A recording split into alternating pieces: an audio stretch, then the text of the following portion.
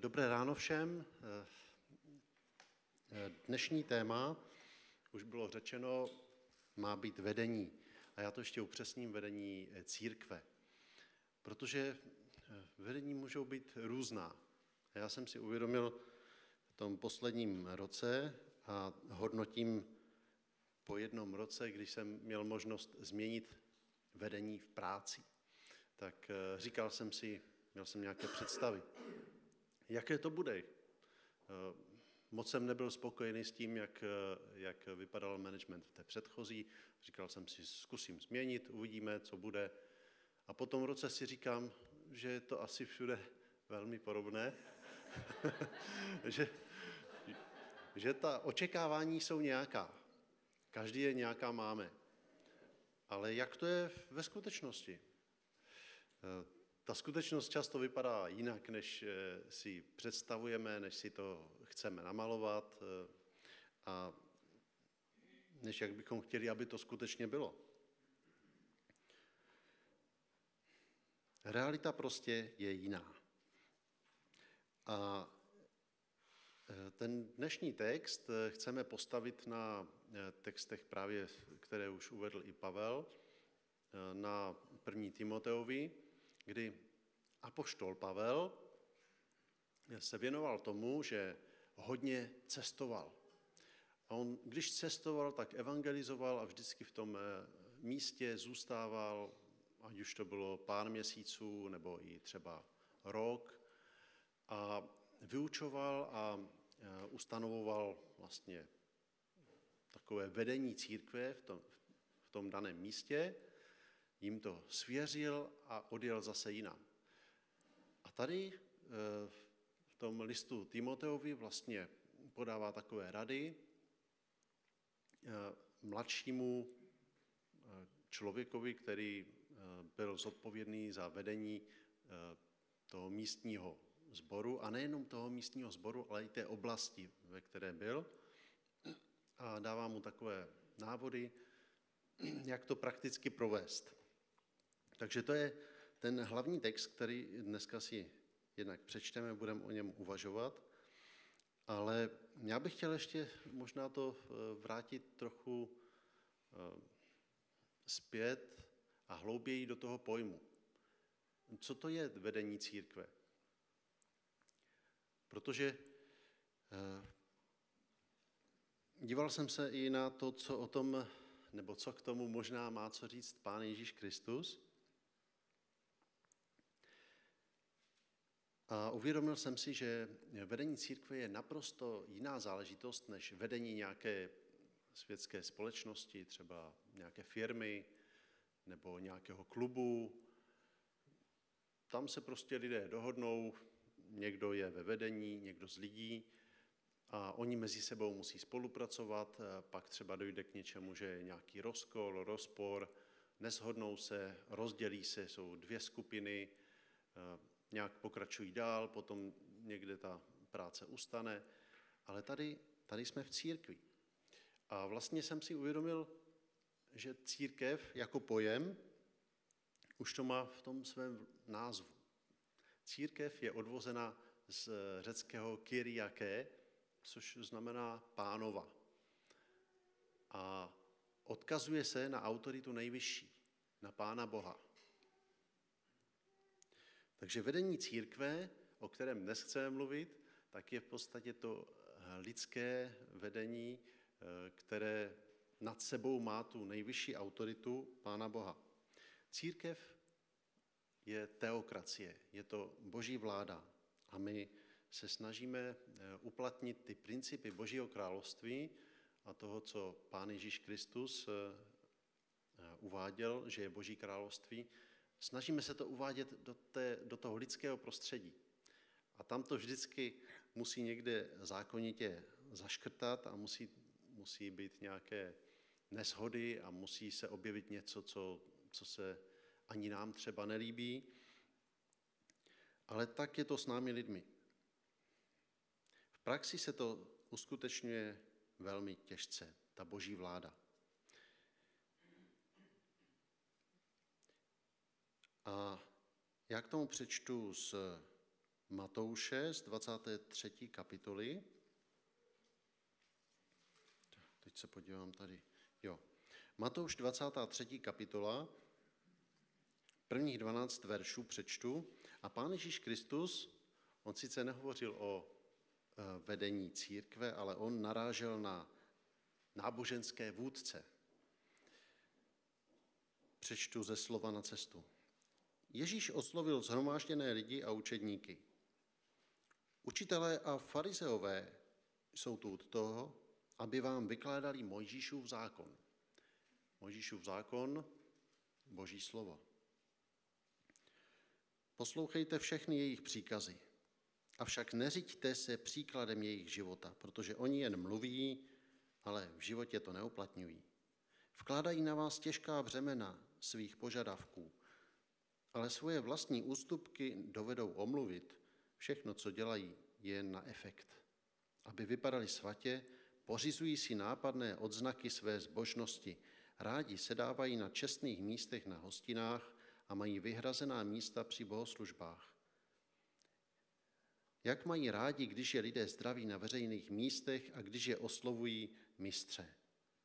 Ale vy se tak titulovat nedávejte, protože jenom jeden je váš mistr a vy všichni jste navzájem bratří. A nikomu z lidí nedávejte titul otec, protože máte jediného otce a ten je v nebi. Ani se nepovažujte za svrchovanou autoritu, protože tou je jedině Kristus. Největší mezi vámi je ten, kdo všem slouží. Kdo má o sobě příliš dobré mínění, bude zklamán a snížen. Pokorní však budou povýšení. Tolik ze slova Pána Ježíše Krista, který narážel na náboženské vůdce. A my, protože jsme v tom prostředí eh, lidském, tak eh, se snažíme nevědomky uplatňovat eh, někdy ty principy, které platí pro běžné, běžný management společností, firem, který známe z denodenní praxe.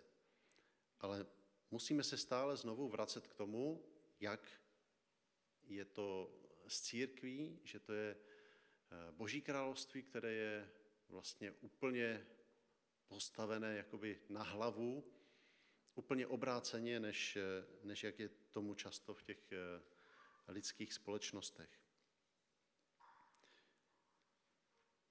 Takže musíme být rádi za to, že máme autoritu. Máme autoritu v Biblii, v písmu, v Pánu Ježíši Kristu, ke kterému se upínáme, učíme se a snažíme se porozumět tomu, co on říkal a odkazujeme se na Pána Boha. A e, chtěl bych tomu říct, že jednak je to na té osobní e, bázi, na tom, že každý individuálně e, věříme Pánu Bohu a pak se jsme schopni se združovat a jsme schopni přijít eh, do církve, hovořit o tom, čemu věříme a jak. A stále se vracím k tomu, že je to ta individuální záležitost, jak člověk věří a čemu věří. Tak jsem moc rád za to, že máme písmo a že se k němu můžeme vracet. Eh, my jsme se učili na taky jeden verš, kde Pán Ježíš Kristus říká, já jsem vinný kmen, vy jste ratolestí. A, a zcela jasně tam ukazuje na to, že kdo zůstává ve mně, ten ponese ovoce. Nese hojné ovoce.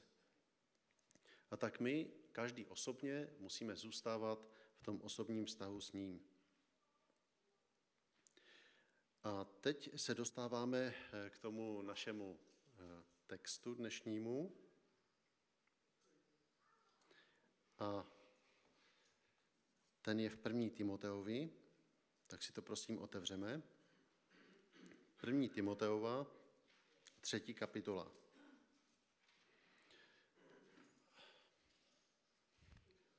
Ještě dříve, než to budeme číst, tak si znovu připomeňme, co řekl Pán Ježíš Kristus?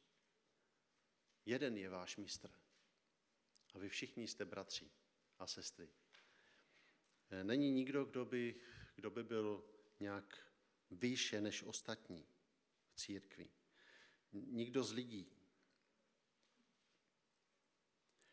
A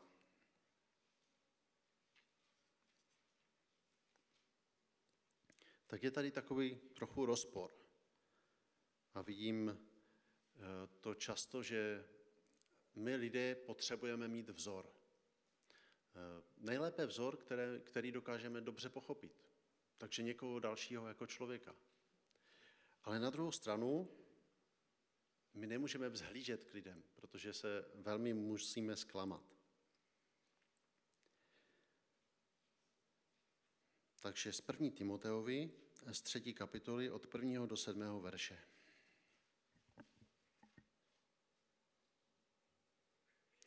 Ano, je to tak. Být v církvi autoritou, to je velký úkol.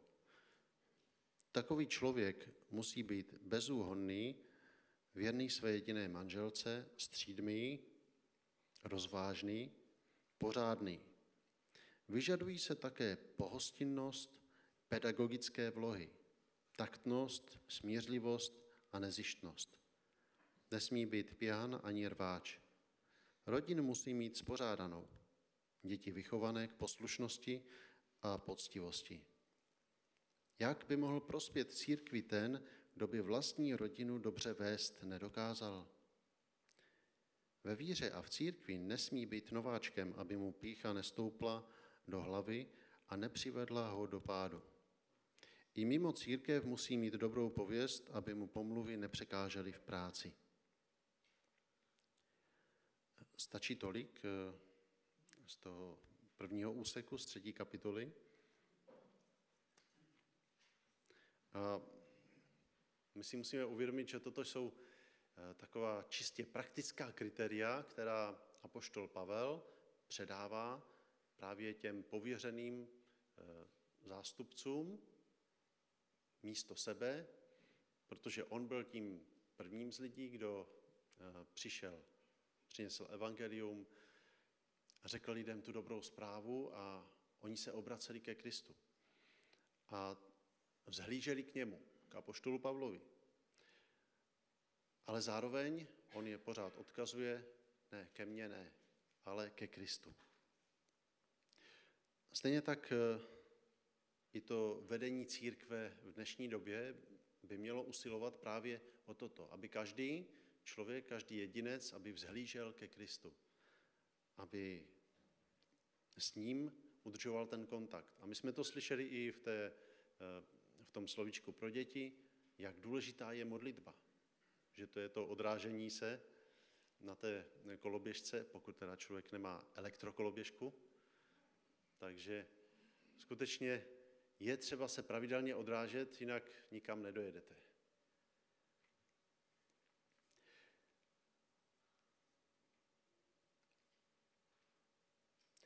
Takže se podívejme, jaká kritéria apoštol Pavel nastavuje. On hovoří o bezúhonnosti. A já jsem si sám pro sebe tak vytvořil možná protiklad eh, k většině těch pojmů, tak nějak pro zvýraznění toho, co to znamená. Bezúhonnost opakem by mohlo být, možná mi můžete také poradit, víte, co by mohlo být opakem?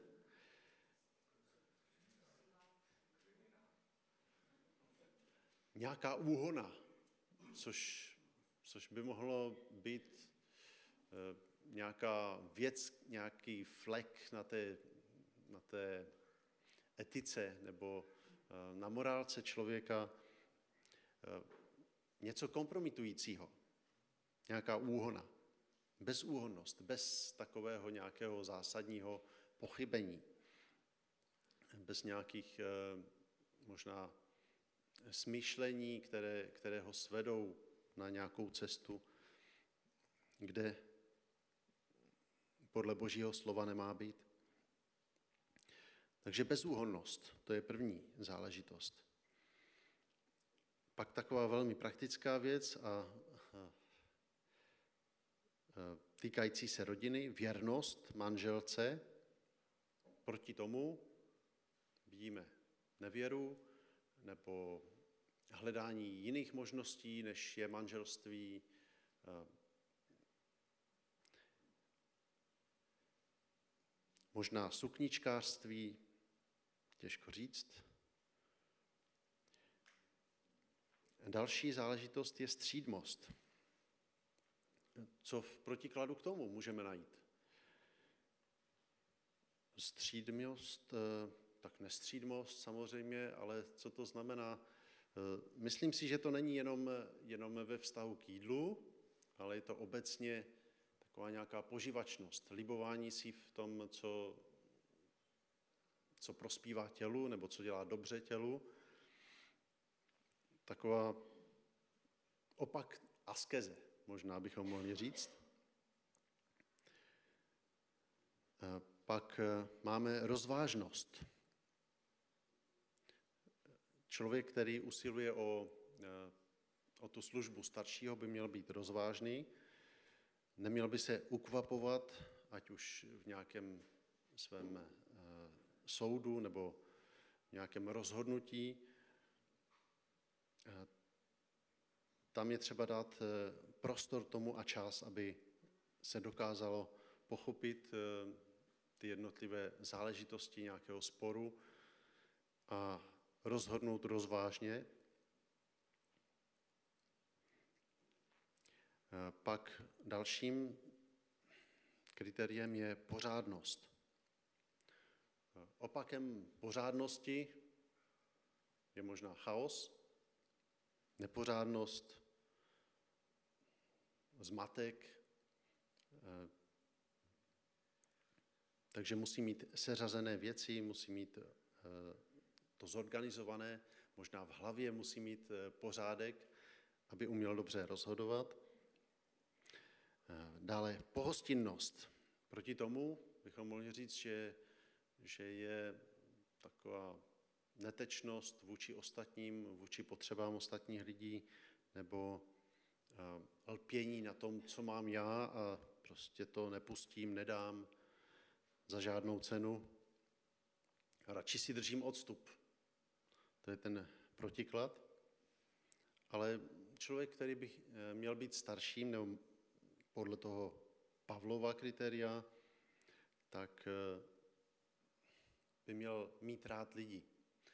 A měl by je rád pozývat k sobě a zejména v tehdejší době to bylo velmi časté, že lidé, když šli někam daleko, tak prostě neměli tolik eh, blízkých nebo lidí, kteří, eh, se kterými by se znali na tom daném místě. Takže ta pohostinnost eh, se zdůrazňuje třeba i v tom Mojžíšově zákoně. Přijmout cizince. A tak já jsem rád i za ten včerejší den, za to odpoledne, protože ti lidé z Ukrajiny, my vůbec nevíme, jak dlouho oni tady budou. Oni to také netuší. A jsem vděčný za to, že jsme mohli ukázat, že pohostinnost eh, máme a chceme se jí držet. Myslím si, že to je jenom takový začátek s lidmi z Ukrajiny. Tak budu velmi rád za to, když to bude pokračovat. Pak tady uvádím jako kritérium i pedagogické minimum. No, teď nemyslím eh, takový ten eh, program nějaký, že by někdo si dostudoval pedagogické minimum, aby mohl vyučovat, ale apoštol Pavel prostě zmiňuje vlohy takové, že člověk umí se vyjádřit, umí to předat, tak, aby to bylo srozumitelné. Toto je něco, co by také starší měl mít. A k tomu právě jsem četl z toho Matoušova evangelia, co říkal pán Ježíš. On eh, velmi vytýkal těm starším z Izraele, že oni něco učili, ale sami pro sebe si odůvodnili, proč oni to nemusí vlastně dodržovat, proč to pro ně neplatí. My známe to přísloví z latiny verba docent, exempla trahunt, což v překladu znamená, že slova učí, Ale příklady a vzory, ty táhnou. To je mnohem silnější. To je něco, co eh, i kdyby to slovo nebylo, tak prostě vzor zůstává a je mnohem silnější. A je strašně jednoduché něco mluvit, tady zakazatelnou, a pak, když člověk něco dělá, tak eh, ostatní ho pozorují, tak celé to vlastně, to slovo může úplně přijít v níveč, protože si každý řekne, ale to přece neplatí. Vidíme to, že, že on se tím neřídí. Takže být vzorem, to také spadá do toho eh, pedagogického minima apoštola Pavla. Dále tady máme uvedenou taktnost. Myslím si, že co by proti tomu mohlo být, tak, eh, tak je asi prostořekost nebo neomalenost, ano. Prostě necitlivost vůči tomu, eh, co, vůči tomu, co je prostor toho druhého člověka. Překročit nějaké hranice. Velmi důležité, myslím si, že je smířlivost. My jako lidé eh, máme často nějaké neporozumění, nedorozumění nebo spory, ale je třeba hledat eh, prostor pro to, abychom nevyvolávali ty spory a abychom se snažili je překonat. I když proti někomu něco mám, tak hledám možnost, jak to urovnat. Smířlivost je velmi důležitá a zejména tam, kde, kde třeba v tom vedení církve je více lidí a společně něco uh, musí uzavřít, musí něco dohodnout. Takže je to jednota, která je velmi důležitá. A zase je ten odkaz na slovo Pána Ježíše, který říká, jeden je váš mistr. Myslím si, že to je také důležité, že se vzájemně můžeme mít v úctě, protože my nevíme, kde, kdo zrovna je, ať už se týká o ty osobní záležitosti, anebo o duchovní. Eh, my nevíme, neznáme se až tak, máme možnost se potkat, eh, příležitost hovořit, můžeme se setkávat častěji, můžeme na tom pracovat, ale vždycky do toho vstupují i jiné vlivy, jiní lidé, nějaké spory, možná nějaký, nějaké psychické potíže, spousta věcí, která to eh, může narušit. Takže přistupujme jeden k druhému s tím, s tím odstupem nebo s tím vědomím, že on žije v nějakém světě, který my nemusíme úplně pochopit.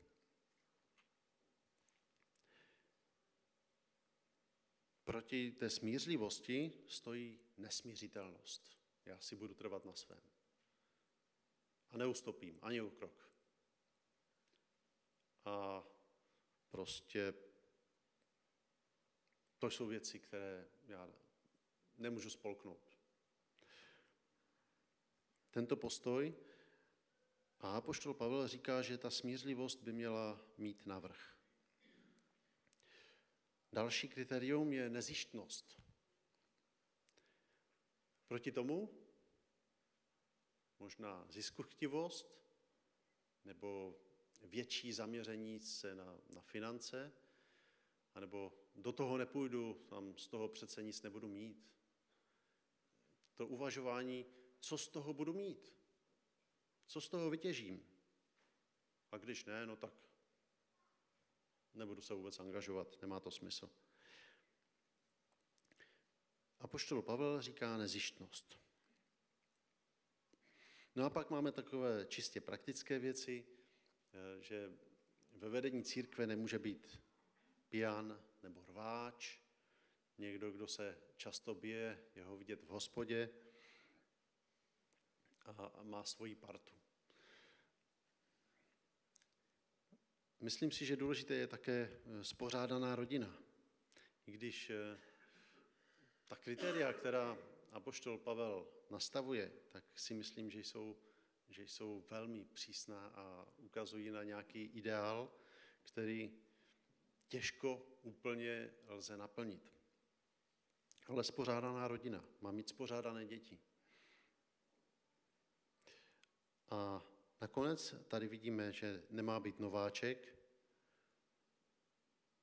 Tam je otázka, kolik let, jak, jak si to, dá se to vůbec nějak eh, říct? Dá se to stanovit? Myslím si, že velmi těžko a také bychom se asi na, na tom možná nezhodli. Možná bychom to viděli různým způsobem. Ale apoštol Pavel to takto říká. Nemá to být někdo čerstvě uh, uvěřivší. A dobropověstnost. Další kritérium. Uh, I mimo církev.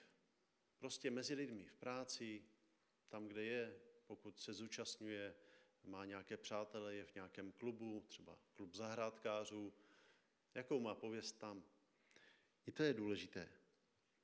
A poštol Pavel to tak vidí. A ještě jednu eh, velmi důležitou věc eh, zmíním tady, a to je kázání, slovo. My už jsme eh, si řekli o tom, že jednak slovo je důležité, ale důležité je také následovat jej a podle něj se řídit a možná je to i významnější, ale přesto to, co my pouštíme dovnitř, do, do našich uší, tak formuje naše názory. A není to zanedbatelné. Je třeba eh, proto, aby to vedení církve, aby ti starší, aby eh, mohli přijít se slovem, které bude budovat. A myslím si, že je třeba si cenit eh, všech těch, kteří umí vyučovat božím principům a hlavně umí je naplno žít. Já ještě přečtu ten druhý úsek, eh, který také máme zmíněný a je to z páté kapitoly. První Timoteovi pátá kapitola od 17. do 22. verše přečtu. V tom slovu na cestu máme nadepsáno drobné rady, které mnoho znamenají. A tam si čteme. Kdo koná svou práci v církvi svědomitě, má za ní být náležitě odměněn. Dvojnásobně ať je oceněna služba kázání a vyučování. I v písmu přece čteme. Dobytku, který užíváš při sklizni, dovolíš nažrat se z tvé úrody – a na jiném místě zase, kdo pracuje, má nárok na odměnu. Stížnosti proti starším musí být ověřeny alespoň dvěma svědky, jinak si jich nevšímej. Ale toho, kdo se opravdu provinil, pokárej veřejně před celou církví pro výstrahu ostatním. Zapřísahám tě jménem Boha Ježíše Krista i všech andělů, Řiď se tímto pravidlem, ať se jedná o tvého přítele či nepřítele. Buď v tom naprosto nestranný. Při svěřování odpovědností se neukvapuj. Přehledneš-li přitom nějaký hřích, mohlo by se to chápat tak, že ho schvaluješ. A hlavně se sám vyvaruj každého poklesku. Tolik eh, tedy z dalších rad apoštola Pavla Timoteovi. A hlavně mě zaujalo tady to závěrečné. Timotej, velmi dobře rozvažuj.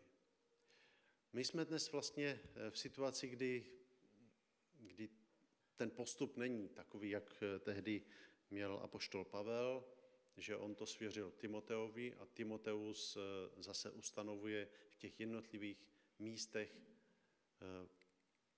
jednotlivé vedoucí církve. Tady jednak eh, my jako staršovstvo, tak eh, hledali jsme eh, starší, hledáme někoho, kdo je ochoten dělat tu práci. nebo službu, někoho, kdo tomu chce věnovat čas, považuje to za významné, ale z druhé strany tu dnešní zborovou máme také z toho důvodu, abychom to měli i potvrzeno ze strany lidí.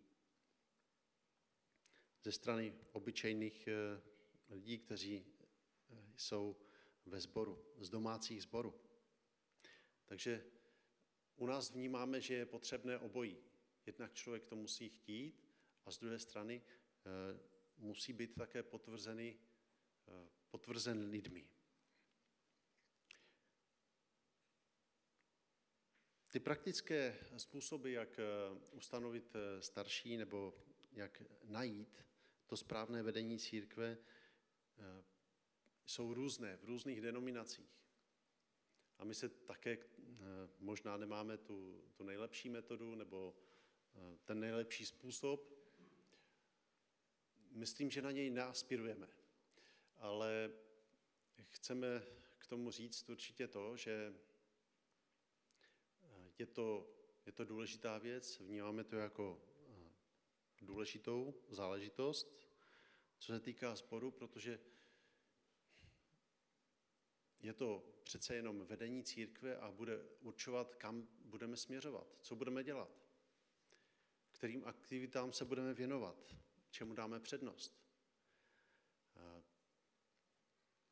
Ta práce, která kolem nás je, i na tomto sídlišti, ta je velmi obšírná, obsáhlá, dá se dělat strašně moc věcí. Ale my si musíme říct, na co máme, co můžeme dělat. A já jsem rád, že eh, spousta věcí tady funguje a děláme a myslím si, že můžeme tím být svědectvím eh, tomu sídlišti. Všem lidem, kteří tady jsou. Otázka je, kdo teda může splnit všechna ta eh, kritéria apoštola Pavla. Myslím si, že to je skutečně obtížné a že nikdy nenajdeme úplně ideálního člověka. Někoho, kdo bude po všech stránkách odpovídat. Ale co je klíčové? Plnost Ducha Svatého, ukazovat na Pána Ježíše Krista, vést eh, k Pánu Bohu. Eh, snažit se vyhnout tomu, že někdo bude vzhlížet k lidem. Ať už to je ve staršovstvu nebo, nebo kdokoliv z charismatických členů domácích, myslím si, že nemáme vzhlížet k lidem. Máme si brát vzory, ale s odstupem. Slovo a skutek musí jít ruku v ruce. A potřebujeme vzor a inspiraci. Takže to jsou za mne asi ty nejdůležitější věci, které, které jsem se snažil najít v tom odkazu Apoštola Pavla a i v tom, co Pán Ježíš Kristus eh, říká, tak eh, věřím, že z toho budeme mít užitek a i ten dnešní den bude v tom požehnaný. Amen.